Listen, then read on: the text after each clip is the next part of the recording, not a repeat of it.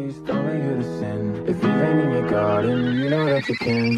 Call me when you want.